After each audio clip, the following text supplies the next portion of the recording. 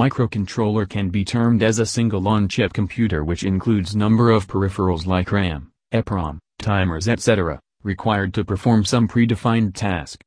There are a number of popular families of microcontrollers which are used in different applications as per their capability and feasibility to perform the desired task. Most common of these are 8051, AVR and PIC microcontrollers. We will introduce with AVR family of microcontrollers.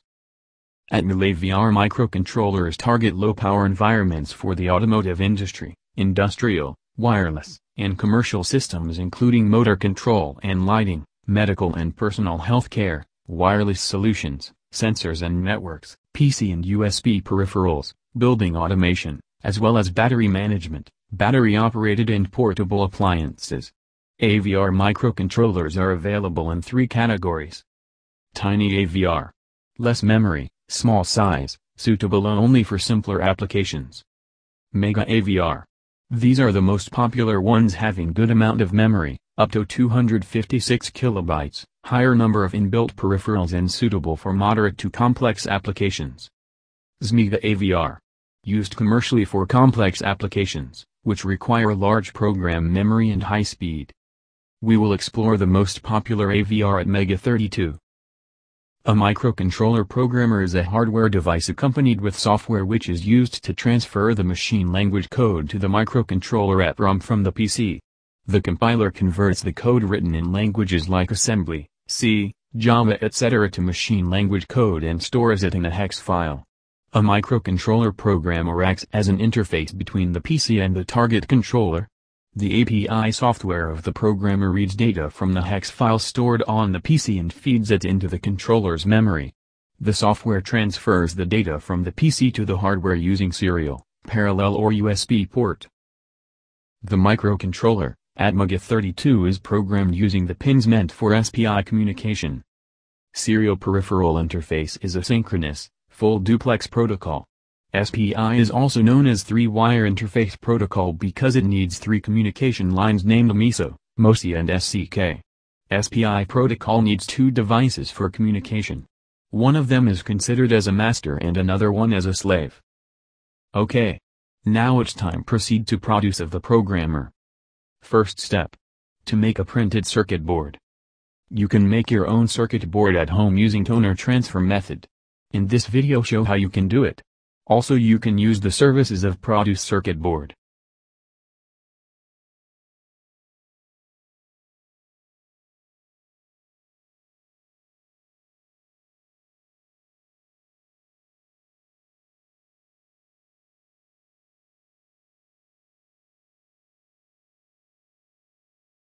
Use a circuit board designing software to convert the circuit schematic diagram into PCB layout.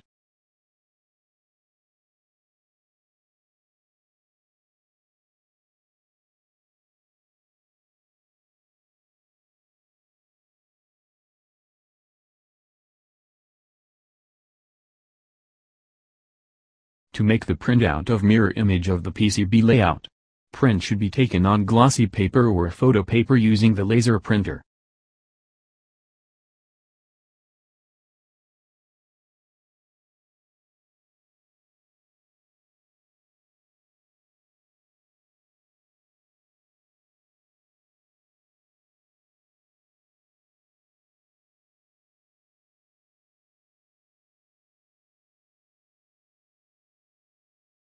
Cut copper clad board in required size, according to our PCB layout design.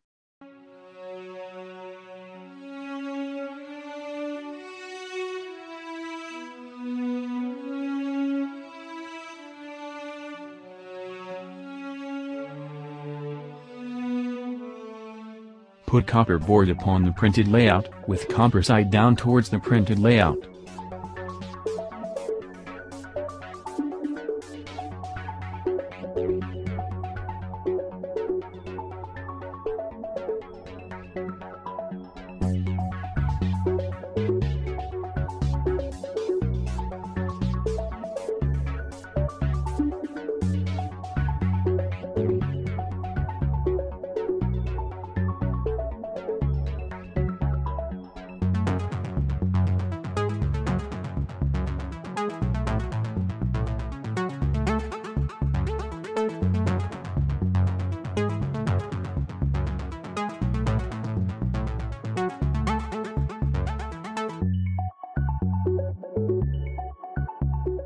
Tightly to press the hot iron for some time.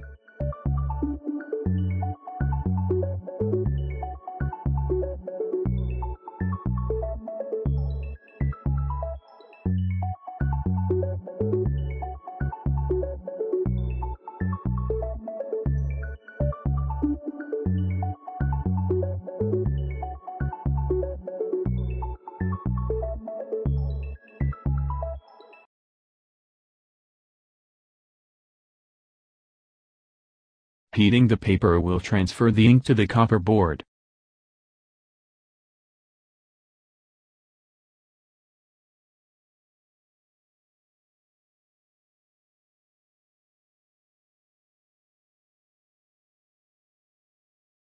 If paper gets stuck to the plate, use warm water to remove the paper properly.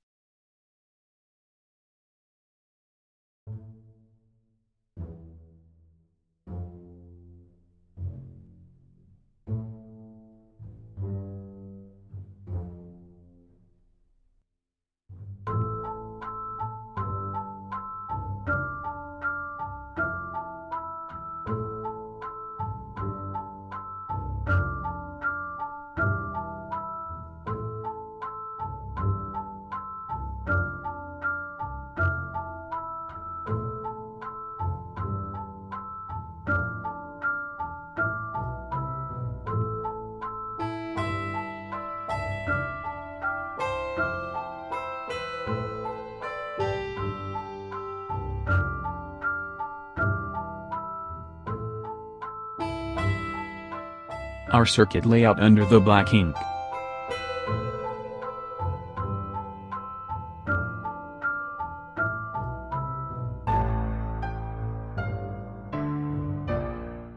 Remove all the other copper except the black lines using etching solution on base hydrogen peroxide.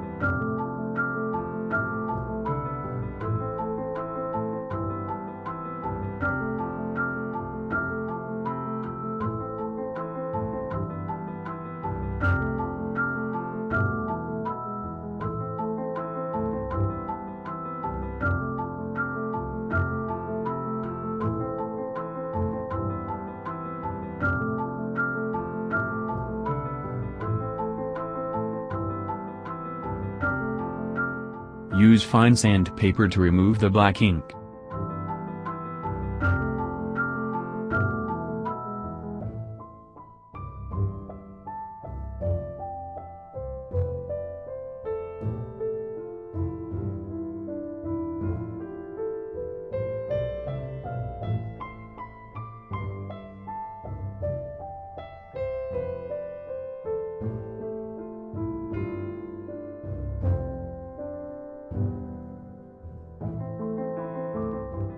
Drill the holes according to the component's placement.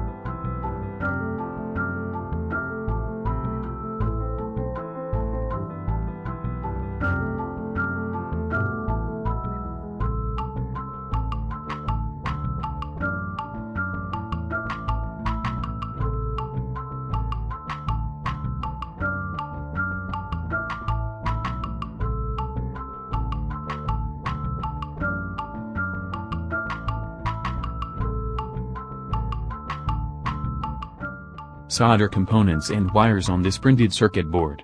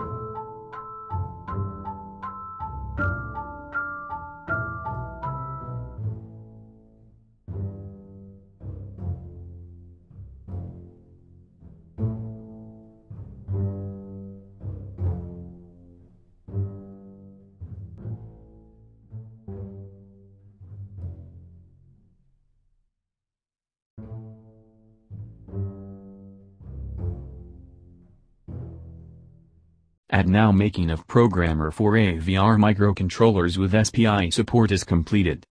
To burning program to the memory of the microcontroller need connect the wires of the programmer to the pins of the microcontroller according to the pinout diagram in the microcontroller datasheet. Then connect the programmer to the serial port of the computer and connect the USB power plug. Use the compiler to generate from the program of a microcontroller the hex file which contains the machine language instruction understandable by a microcontroller. The programmer transfer content of this hex file to the memory of the microcontroller. Once a program is transferred or written into the memory of the microcontroller, it then works in accordance with the program. Circuit schematic diagram of programmer and PCB layout available to the links in description of this video.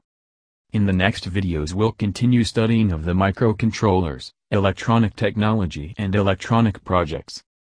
In the next video we will try to create a simple program for the microcontroller. In accordance with the program the microcontroller will control flashing of the LED.